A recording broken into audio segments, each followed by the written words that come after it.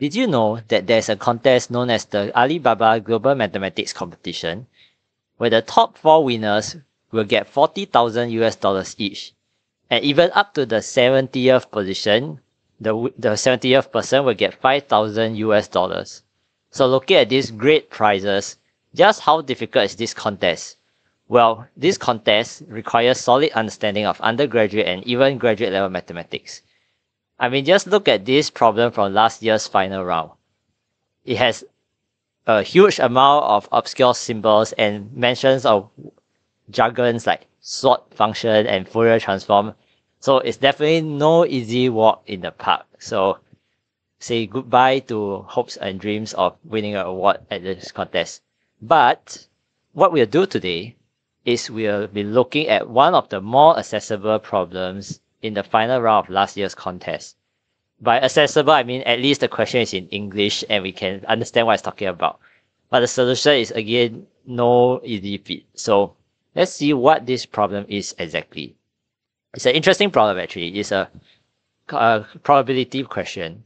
So in a dance party, initially there are 20 girls and 22 boys in the pool, and infinitely many more girls and boys waiting outside. In each round, a participant is picked uniformly at random. If a girl is picked, then she invites a boy from the pool to dance and then both of them leave the party after the dance. If a boy is picked, then she invites a girl and boy from the waiting line and they dance together. The three of them all stay after the dance. The party is over when there are only boys left in the pool. So there's two parts to this question. First part is what is the probability that the party never ends? So let me just translate this uh, English into a diagram so it's easier to digest what happens. So I'm going to put the nodes uh, on the line where a node represents the number of girls in the pool currently. So you can have zero girls, uh, one girl, two girls. So the number of boys will be always two larger. And basically what happens is when you, uh, you start off at the node 20, but in general, um, at the node k where there are k number of girls, there's a k over 2k plus 2 probability that uh, you end up picking uh, eh, you end up picking, picking a girl. So therefore you minus uh, one one girl and one boy after that. So you end up going to the left. And then conversely there's a probability of k plus 2 over 2k plus 2 where you pick a boy.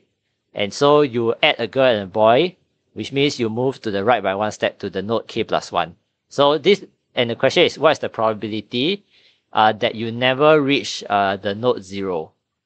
Okay, so I'm going to present a sort of solution to this question, but there's one part in the solution that I'm not entirely satisfied with. So I'm not sure how rigorous you will accept this solution. Definitely, uh, it still makes for an interesting discussion, uh, and you can take a look and see whether you're satisfied with the solution. So I'll just summarize the problem here. We already have the diagram, so it make it easier to uh, recall what's the question. Now, I'm going to let pk be the probability of the party never ending, given that you are currently at node k. So I think this is a pretty standard approach for this kind of problems, uh, probability problems.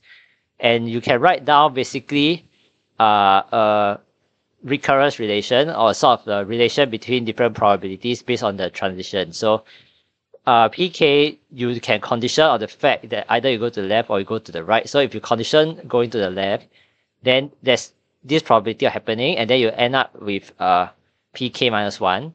So the other scenario is you have this probability and you end up with PK plus 1. So overall PK is the given by the uh, this equation here, where you condition going to the left or going to the right. And so once you have this recurrence relation, I think uh, quite naturally want to see whether you can solve it for the answer. So let's start with the small cases where P1 uh, is given by uh, plugging this in is actually just one quarter chance to the left, one uh, three quarter chance to the right. So it's three quarter of P2. And then if you write down for P2, you have in terms of P1 and P3, but then you can substitute P1 equals three quarter P2 into this equation.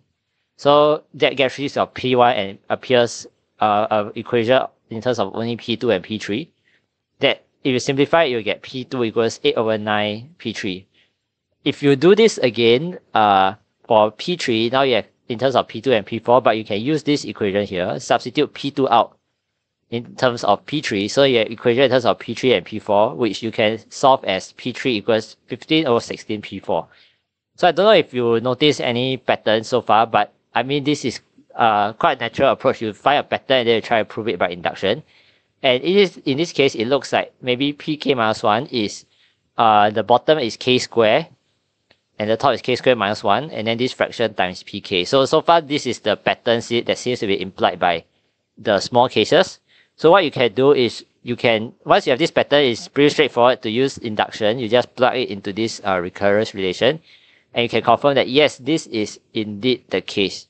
But that doesn't really uh, help solve the problem yet. So again, we have the recurrence relation and then this is the sort of the simplified recurrence relation where we can write one term in terms of the previous.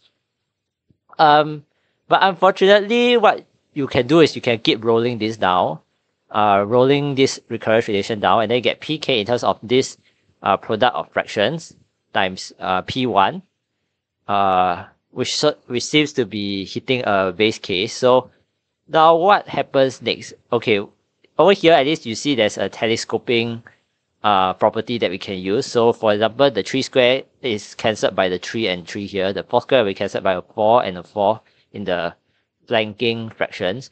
So if you do all the cancellations, you will get uh, k over k plus 1 times 2 uh, times p1. Okay, so very good. We have written all the pk's in terms of uh, p1, but still we need to know what is p1. So uh, unfortunately, it seems that we are stuck so what I have done is I came up with this uh, method of trying to solve for P1 where I imagine that there is a absorbing state, there's a right end to this uh, line which is at uh, a large integer n. So instead of a in semi-infinite line, I'm going to have a very large uh, a right right end, right wall to this uh, line. And I'm going to write pk comma n as the probability of the party hitting n instead of zero. Uh, it will first hit n instead of first hit zero, given that uh, you're currently at node k. So the hitting n, where n is very far to the right, is sort of the analogy to the party never ending and the, the walk uh, escapes towards infinity. Uh, so actually you realize that the recurrence relation will be identical to the previous case. So if you uh, by by solving it in I, I, the exactly same way, you get the identical uh, relationship between pk and pk minus 1. Uh, so which means the uh, the relationship between pk and p1 will be identical to before. But now the nice thing is we actually uh, is we are we actually have another data point to help us solve this equation and uh, this data point is basically that uh, at the same second last state, you go to left or go to right, right? But then when you go to right at Pn, Pn will actually be equal to 1 by definition. So if we uh, roll, roll in uh, Pn equals 1 to the system of equations that we have, we actually are able to say that n over n plus 1 times 2 times P1 is equals to 1. So, so far everything is perfectly rigorous and P1 therefore is uh, n plus 1 over 2n. Now, this is the part where I think is a bit dubious on whether it's rigorous. So what I concluded therefore is that if we let n go to infinity, so by shifting this right wall uh, towards infinity, we will converge towards basically the initial problem where we have a semi-infinite line and P1, which is the probability of the party never ending uh, when you start at 1, will be the limit of all the uh, P1 comma n. And in this case, the answer will be half. So I'm not sure how rigorous this is and whether you consider that as a, a rigorous solution. Uh, but if you accept this fact, then basically pk will then be given by uh, substituting p1 as half, you get k over k plus 1.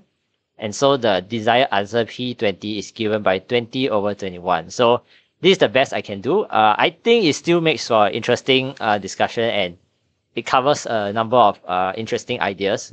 So if you actually have uh, a way to justify the limit that I've taken, uh, please feel free to comment in the comment section below, and I'll be happy to learn about it. Um, but alright, that is what I can cover for P, uh, part one. And for part two of the question, actually it's very similar, but the uh, opposite. So what happens is now you have the organizer of the party, uh, decides to reverse the rule. Namely, if you pick a girl, then instead you are plus one to the right. If you pick a boy, instead you're plus two to the uh, plus one to the left. So basically now it's just the probability here is flipped uh, in essence. And instead of finding the probability that the party never ends, now uh, we are sort of find the expected number of rounds until the party ends. Uh, so as you can imagine now the probability of going to the left is bigger than to the right and so there's sort of like a, a gravity effect towards zero. So it turns out the probability of always ending is one and we want to find the expected number of rounds until the party ends. So for this part, I wouldn't, uh, I won't go through the solution, but in essence, you can apply a similar uh, approach of setting up a recurrence relation and uh, try to solve it. Uh, again, you will need P1 and you can, uh, not P1, but rather the F1, uh, where F is the function that you define. Uh, but to solve for F1, you will need to, uh, one way is to assume that there's a large right uh, end to right end to the line and then take the uh, right wall towards infinity. So again, not sure how rigorous this is, but in essence, I hope this gives you a, a taste of how difficult uh, this contest is. I mean, this is probably the only question in the contest that has a reasonable chance of being solved, uh, at least by myself. Uh, not sure about you all, but uh, I'll share more, uh, a link to, to more questions in the description below. So thanks very much for watching. I hope you found this uh, video interesting and uh, do subscribe and stay tuned to the channel. See you soon.